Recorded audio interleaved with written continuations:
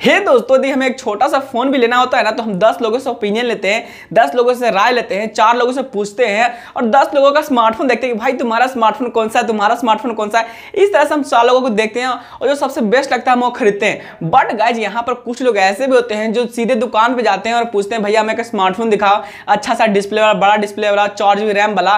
लेकिन उनको गाइज़ आजकल क्या चल रहे दुकान पर जाते सीधे, भाई, ऐसा फ़ोन देना जिसमें पबजी चल रहा है। तो आजकल गाइज़ सभी फ़ोन पबजी के लायक आ रहे हैं, अच्छे स्मार्टफ़ोन स्पेसिफिकेशन के साथ।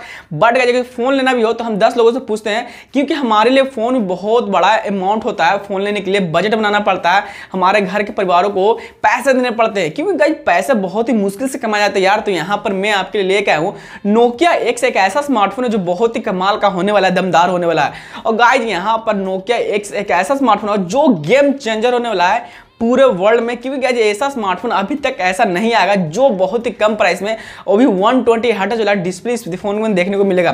गैज यहाँ पर रिसेंटली एक ट्वीट किया गया है ट्विटर पे नोकिया की तरफ़ से कि यहाँ पर कुछ इस टाइप का आपको स्नैपड्रैगन का एक प्रोसेसर देखने को मिल सकता है। नाइन में था, अब यहाँ पर नोकिया एक से नोकिया टेन में भी देखने को मिलेगा। यदि आपको वीडियो पसंद आ रहा है अभी तक तो वीडियो को लाइक कर देना शेयर कर देना और सब्सक्राइब कर लेना। और गाइज़ मैंने आप सभी के लिए ब्लॉग चैनल बनाया जो बहुत ही कमाल का ब्लॉग डालता रहता हूँ। तो आप जाना सब्सक्राइब करना, बताना कि आपको ब्लॉक कैसा लगा। और गाइज़ यहाँ पर सबसे कमाल की बात यहाँ पर यह है कि आपको नोकिया एक्स के अंदर एक ऐसा फ़ोन मिलने वाला है, जिसमें आपको बहुत सारे फीचर्स मिलने वाले जैसे कि 108 मेगापिक्सल का कैमरा मिलने वाला है एंड यहाँ पर आपको क्वाड कैमरा मिलने वाला है, जो बहुत ही कमाल का। तो चलिए बात करते हैं यहाँ पर कि आपको इस फ़ोन के अंदर क्या क्या स्पेसिफिकेशन मिलने वाले जैसे कि यहाँ पर इस फ़ोन के अंदर आपको वन ट्वेंटी का डिस्प्ले मिलने वाला है सिक्स पॉइंट सिक्स इंच का डिस्प्ले होना फुल एचडी डिस्प्ले होने वाला है।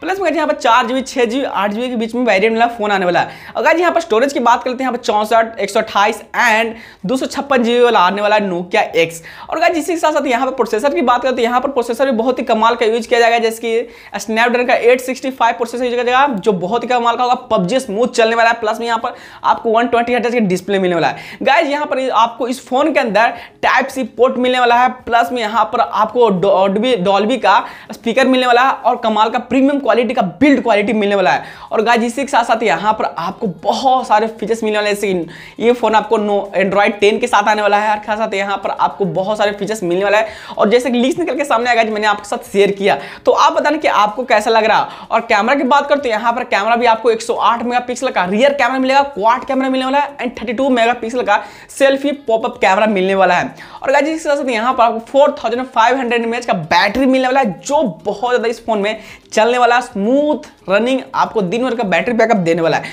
तो आप बताना कि आपको वीडियो कैसा लगा? अच्छा लगा तो लाइक करना शेयर करना सब्सक्राइब करना, क्योंकि मैं आपके लिए इस तरह के और इंटरेस्टिंग और मज़ेदार एंड और यूजफुल वीडियो लाता रहूँगा। तो तब तक के लिए स्टे ट्यून जय हिंद, वंदे मातरम।